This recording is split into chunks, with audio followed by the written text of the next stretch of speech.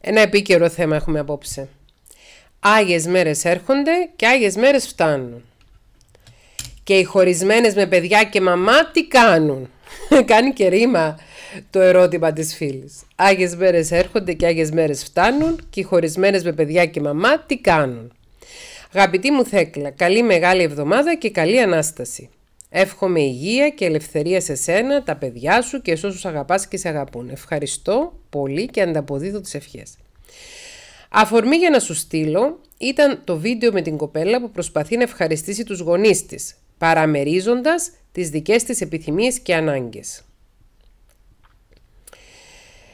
Είμαι διαζευγμένη με παιδιά και τώρα βρίσκομαι στην ευχάριστη θέση να γνωρίσω έναν άνθρωπο με τον οποίο υπάρχει αμοιβαία ερωτική έλξη και επικοινωνία στο βαθμό και τη συχνότητα που επιθυμώ. Όλα ωραία και προχωράμε την γνωριμία μας. Χαίρομαι πάρα πολύ για σένα. Μπράβο.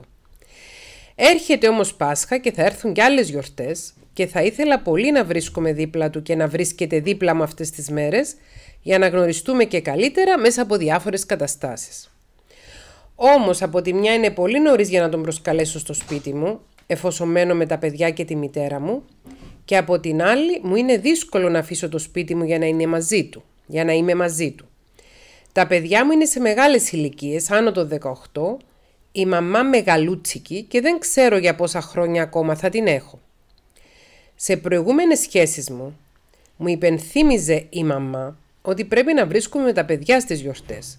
Με πίεζε γι' αυτό Άσχετα αν τα παιδιά εδώ και χρόνια έχουν τις δικές τους παρέες και αρκετές φορές δεν σηκώνονται καν από το κρεβάτι για να παραβρεθούν στο οικογενειακό τραπέζι.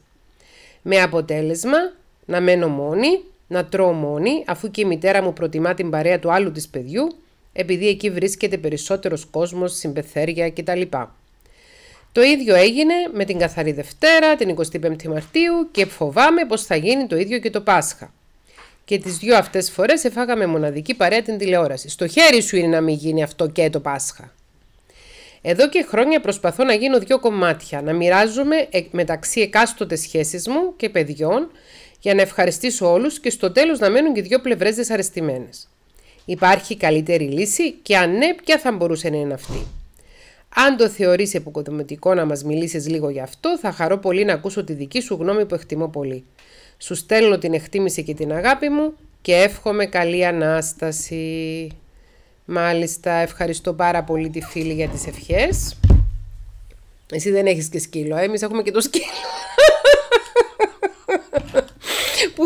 Που επιζητεί μερίδιο της προσοχής και αυτός. Λοιπόν, φίλε Νάδα, από τη στιγμή που τα παιδιά σου είναι ενήλικα, είναι άνω το 18, είναι νομικά ενήλικα, μπορεί να είναι έφηβοι ακόμη, είναι κάτω των 26-28, αλλά είναι άνω το 18, και από τη στιγμή που έχουν τις δικές τους παρέες και από τη στιγμή που έχεις την πύρα, την πικρή πύρα προηγούμενων εορτών, που σε παρατούσαν όλοι και έμενες μόνη σου μέσα στο σπίτι, να τρως μόνη σου μπροστά στην τηλεόραση, νομίζω ότι είναι πάρα πολύ καλή ιδέα να σηκώσεις κεφάλι ναι, και να κάνεις αυτό το πολύ επαναστατικό πράγμα, να πεις στη μάνα σου και στα παιδιά σου ότι το Πάσχα είμαι καλεσμένη αλλού και να πας να συναντηθείς με το τέρι σου. Δεν είναι καλή ιδέα να το φέρεις μέσα στο σπίτι εφόσον είναι πολύ νωρίς η σχέση και ακόμη δεν ξέρεις αν θα προχωρήσει. Και καλύτερα να μην φέρνουμε κάποιον άνθρωπο στο σπίτι να το γνωρίζουμε στα ενήλικα παιδιά μας, τη μάνα μας, τους... Ε, όταν είμαστε στην αρχή μιας γνωριμίας. Δεν είναι καλή ιδέα. Καλή, ούτε για τη σχέση είναι καλό, αλλά ούτε και για τη σχέση μας με τα παιδιά μας και με τους γονείς μας είναι καλό το να κάνουμε πολύ νωρίς συστάσεις. Πρέπει πρώτα εμείς να γνωρίσουμε τον άνθρωπο με τον οποίο βγαίνουμε αλλά το θεωρώ τρελό και παράλογο να το σκέφτεσαι καν και να μου στέλνεις καν και γράμμα για το αν θα πρέπει το Πάσχα να καθίσεις μόνη σου μπροστά στην τηλεόραση ή να πάτε κάπου μαζί με τον άνθρωπο που βγαίνεις. Η μάνα σου σου λέει αυτά που σου λέει, τα οποία νομίζει, πιστεύει, θεωρεί ότι είναι τα σωστά πράγματα που πρέπει να πράξει μια κόρη σωστή, μια καλή μάνα, μια κομιλφό γυναίκα, μια κομιλφό κυρία. Όμως είσαι και εσύ άνθρωπος. Δεν κλέβεις, δεν απατάς τον πατέρα των παιδιών, διαζευγμένη είσαι, ελεύθερη είσαι και δικαιούσε, δικαιούσε να περάσεις τη μέρα του Πάσχα όπως εσύ επιθυμείς. Τα παιδιά, τα οποία είναι άνω των 18 ετών, και δεν χρειάζονται τη βοήθειά μας ούτε για να φάνε, ούτε για να πιούνε, ούτε για να κοιμηθούν, ούτε για να λουσθούν. Είναι μεγάλοι, οδηγούν αυτοκίνητα συνήθως. Παίρνουν το δρόμο και που τους βγάλει, έχουν τις παρέες τους, έχουν τους φίλους τους, μπορεί να θέλουν να κοιμούνται την ώρα που εμείς μπορούν να θέλουμε να θέλουμε να κάνουμε το οικογενειακό τραπέζι ή οτιδήποτε άλλο. Τα παιδιά μπορεί να μην χρειάζεται καν να τους πεις. Ξέρετε παιδιά μου το Πάσχα εγώ θα βγω. Γιατί να τους το πεις; Ενώ εφόσον παραδοσιακά δεν έρχονται στο τραπέζι. Μπορείς να τους ενημερώσεις ότι το Πάσχα εγώ θα λείπω.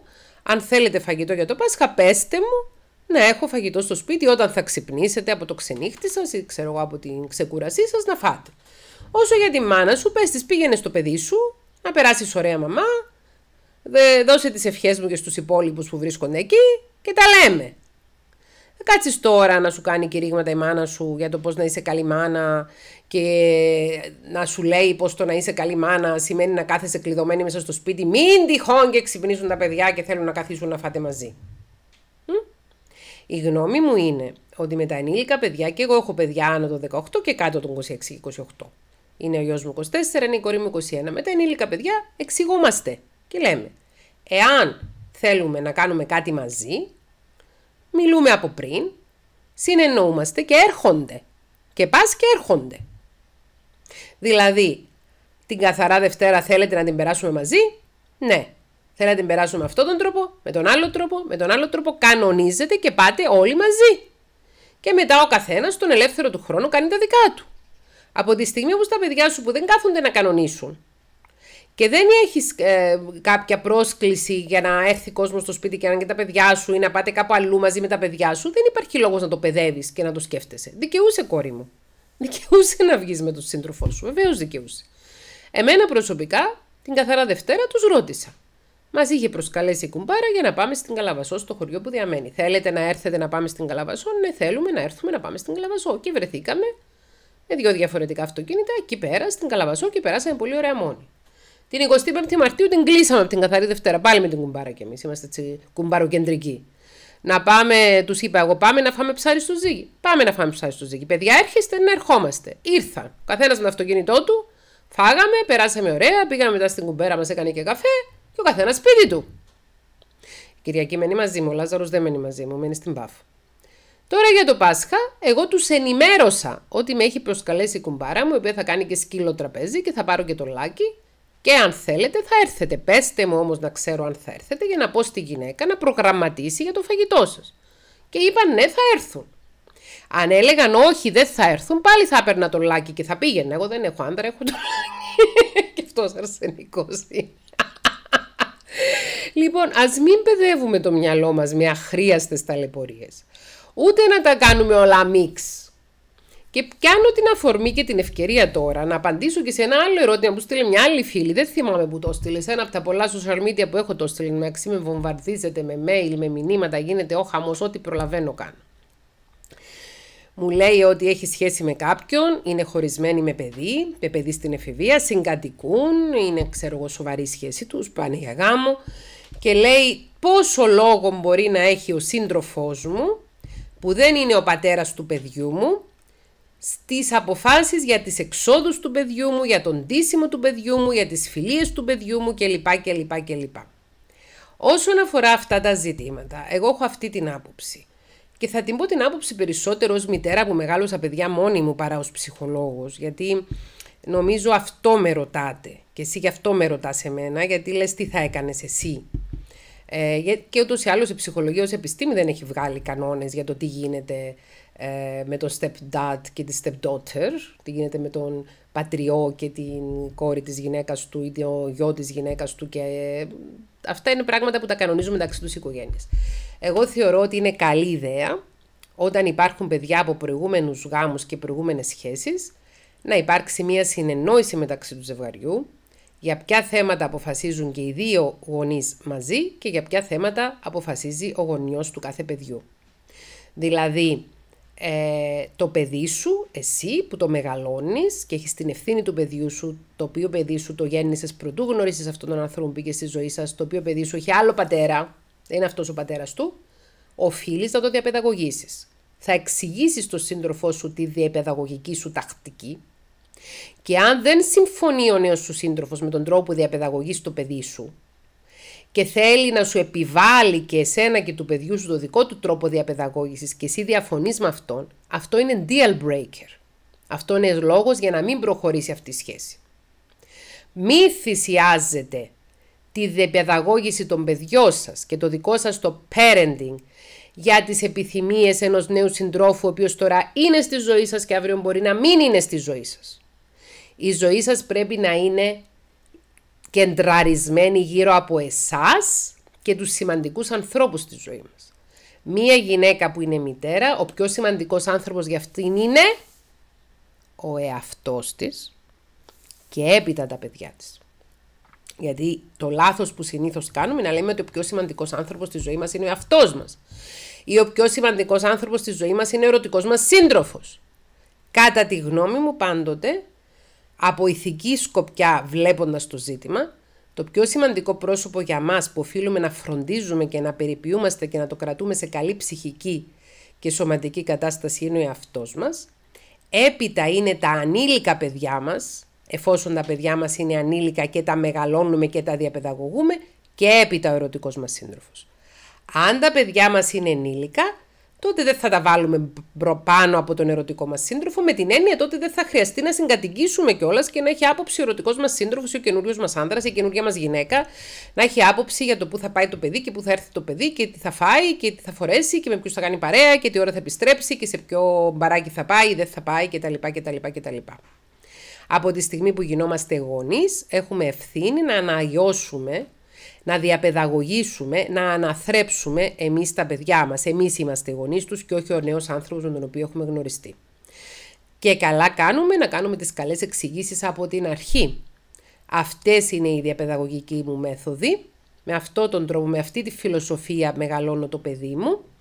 Ποια φιλοσοφία έχεις εσύ σε σχέση με το μεγάλωμα παιδιών; Αν θα υπάρξουν, αν θα συνυπάρξουν παιδιά από δύο διαφορετικές προελεύσεις στην οικογένεια, δηλαδή αν θα συγκατοικήσουν παιδιά του άνδρα και της γυναίκας παιδιά από προηγούμενους γάμους ή σχέσεις, εκεί χρειάζεται να, βγει, να βγουν κάποιοι κοινοί κανόνες. Στην περίπτωση όμως που συγκατοικεί ένας άνδρας με μια γυναίκα που έχει δει παιδί, μια γυναίκα με έναν άνδρα που έχει δει παιδί, θα υπάρξει μια κοινή συνεννόηση, αλλά τον κυριότερο ρόλο για την ανατροφή του δικού του παιδιού τον έχει ο γονέας που έχει γεννήσει αυτό το παιδί ή που έχει τέξει αυτό το παιδί. Γιατί στην πραγματικότητα, με βάση την ελληνική γλώσσα, την καθαρεύουσα και την αρχαιοελληνική, η γυναίκα τίκτη και ο άνδρας γεννάει.